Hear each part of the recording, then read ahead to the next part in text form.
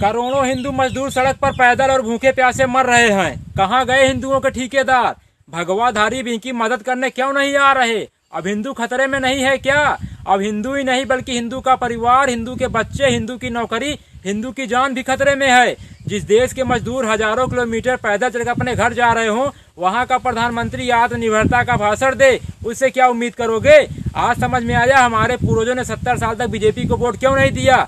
क्योंकि वो जानते थे इनकी औकात देश चलाने की नहीं, बल्कि हिंदू मुसलमान में दंगा कराने की है। मेरी बात याद रखना, हिंजड़ों से औलाद और बीजेपी से विकास की उम्मीद केवल आसाराम राम रहीम की गुफाओं में पैदा होने वाले अंधभक्ति कर सकते हैं।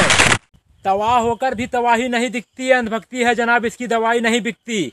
धर्म को धंधे में मिला दिया जाए तो बड़ा फ़ायदा है।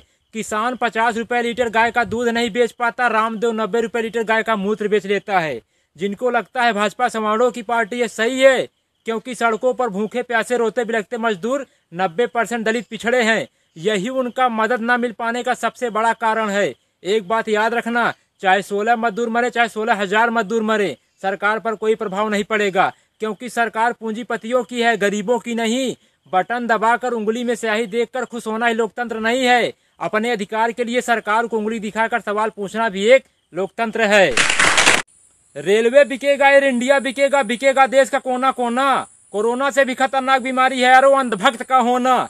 हिंदुस्तान में धर्म के नाम पर खून सबका खोल जाता है। बात जब गरीब, किसान, बेरोजगार, मजदूर की होती है तो सबका खून पानी बन जाता है। विदेशों से जो उड़कर आ रहे हैं, उनके लिए स्वागत में पोस्टर, बैनर लगाए जा रहे हैं। और जो साइकिल से पैदल चलकर आ रहे हैं, उनके ऊपर डंडे बरसाए जा रहे हैं। गरीबों की दुर्दशा बता रही, हिंदुस्तान में गरीब होना सबसे बड़ा पाप है। एक बात याद रखना दुनिया का विनाश किस कारण से होगा, हमें पता नहीं। मगर हिंदुस्तान के विनाश के कारण घटिया नेता और बिकाऊ पत्रकार होंगे। पति मर जाए, लेकिन सौतन विधवा नहीं होनी चाहिए। वही हाल है अंधभक्तों का। देश बर्बाद हो जाए, मगर मोदी हटना नहीं चाहिए। हमारा देश बदल रहा है। बुलेट ट्रेन की जगह मजदूर पटरी पर चल रहा है। जब वो ज़िंदा थे तो दो रोटी तक देने की सरकार की औकात नहीं। आज मरने के बाद पाँच लाख का मुआवजा कौन खाएगा?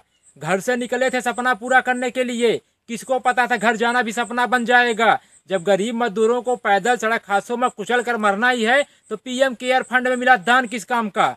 जो सरकार गरीब मजदूरों को घर तक पहुँचाने का ट्रेन का किराया तक ना दे सकी, वो 20 लाख करोड़ का पैकेज क्या देगी? एक बात याद रखना, बिखरेंगे जमी पर तो रमक छोड़ जाएँगे। बिखरेंगे जमी पर तो रमक छोड़ जाएँगे, गरीब है तो क्या हुआ? मरने के बाद भी गरीबी वाली महक छोड़ जाएँगे